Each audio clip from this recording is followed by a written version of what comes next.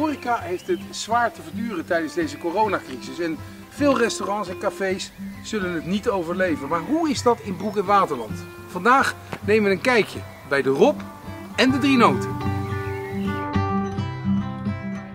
Ik moet toch eerlijk zeggen dat ik blij ben dat ik weer even aan de bar kan zitten. Dat is voor mij alweer een week of zes geleden. Ja, dat is ook, dat ontbeer je natuurlijk. Wat ook, eh, en ik achter de bar sta, dat is ook weer zes weken geleden. Ja, ja hoe voelt dat?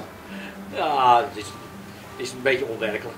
Ja. Een beetje gewoon, ja, je went er wel aan, maar, maar ook niet echt. Het, eh, is natuurlijk altijd wel leuk om s'avonds uh, toch met iedereen een, uh, na afloop van het diner een babbeltje te maken. En, Ja, want hoe lang eh, is het geleden in de geschiedenis van de drie noten dat het zo lang achter elkaar dicht is geweest? eh, nog nooit. Nee, en hoe lang is dat inmiddels al? Hoeveel jaar? Eh 47.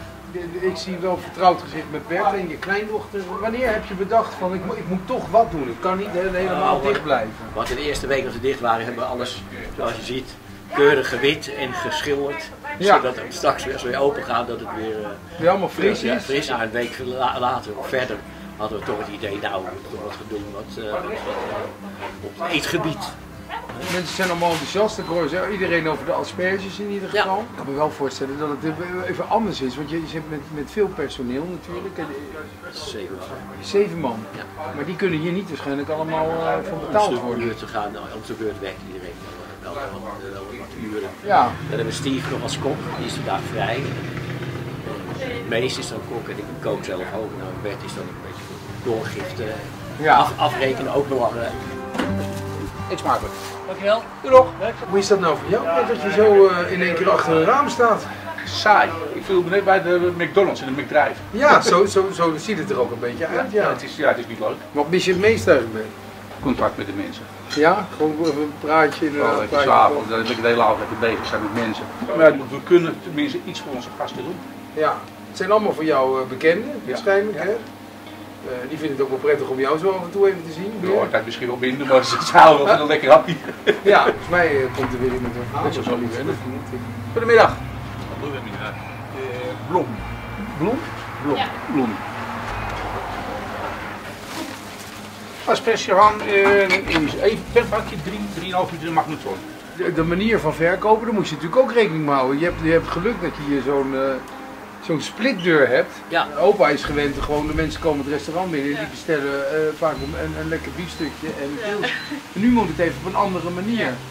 Eh, toch wel blij, want jij bent net, waarschijnlijk net digitaal iets vaardiger dan... eh, Nou, ik vind het wel leuk om er mee te helpen en eh, wat dingen te verzinnen. En ik had van de week met de huistelefoon eh, WhatsApp aangemaakt, dat mensen ook WhatsApp kunnen sturen. Want ik kreeg al wat berichtjes via Instagram en Facebook om bestellingen te plaatsen. Ik zeg dan kunnen het beter misschien bij WhatsApp houden, dat we het op één platform houden, zeg maar. Want als we alles in de gaten houden. en gaat dat goed? Ja, er gebruiken we al best wel veel mensen die WhatsApp om te bestellen, dus dat is wel leuk. Je zult niet de omzet halen die je gewend bent, uiteraard. Nee, dit is hooguit eh 20, 25 procent van de, van de normale, Ja. normale omzet die je daarmee eh, genereert. Tot wanneer hou je er rekening mee dat, eh, dat de drie noten misschien wel gesloten blijft? Ik, ik ga uit van eind juni. 20 mei is als, vooralsnog. Maar ik reken daar nog wel vier weken bij. Maar stel je voor dat het nog langer gaat duren. September of misschien eh, januari. Ik noem maar even een doemscenario. Ja, wij, wij kunnen wel wat hebben, maar toch.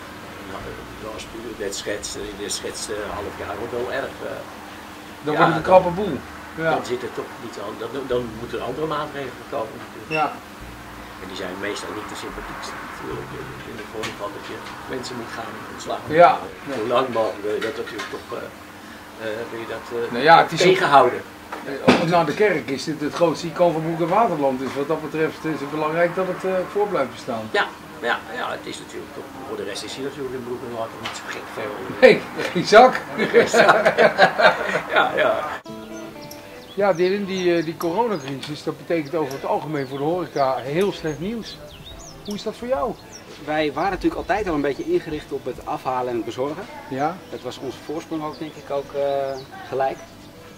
En verder, ja, we moeten een beetje afstand houden. En voor de rest is het voor ons eigenlijk niet, Niet veel anders? niet veel anders dan, dan anders, behalve dat je geen terras en je locatie niet aan mag bieden. Dus, Wat dat betreft zit je net in een, in een eh, goede tak van de horeca. Ja, goede tak. Ik denk dat eh, mijn collega's in het restaurantwezen die eh, hebben het een stuk zwaarder dan dat wij dat hebben. Ja, ja, toch missen we een hoop doordat we bijvoorbeeld de Broek Feestweek niet, niet nou, daar wou ik een nog groot- even over beginnen. Dat is is een natuurlijk. groot gemis, ja. ja. precies. Dat- Alleen dan al.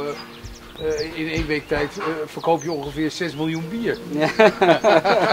en de frikandellen dan ook nog. eh, Ja, precies. Ja. Dus dat is wel een groot gemis. Ja, dat is een groot gemis. Dylan, er is Ja. eh, één probleem door die coronacrisis. Je hebt er namelijk ineens wel een concurrent bij hier in het dorp. Ja, dan zie je hier iemand op de Keergouw eh, Ja. die eh, extreem goede frietjes aanbiedt. Ja. En die dik onder de prijs gaat.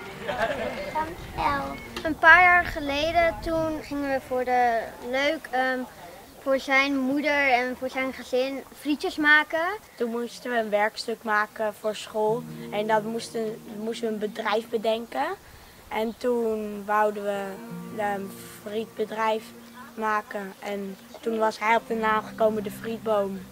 En zo is het eigenlijk begonnen. We hebben vandaag al oh, eh, 22 kilo aardappels verkocht Aan friet. aan friet.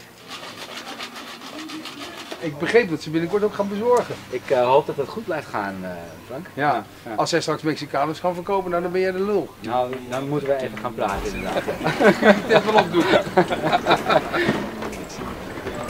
Zo Frank, nu je er toch bent, heb ik gelijk een bezorging voor je. Ik moet er gaan rondbrengen nu. Ja, Is goed, waar moet ik naartoe? die skip.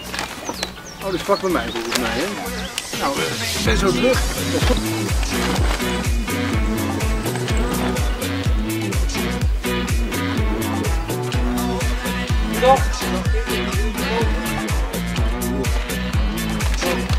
Hey, eh, eet smakelijk. Heb je, heb je hem al betaald?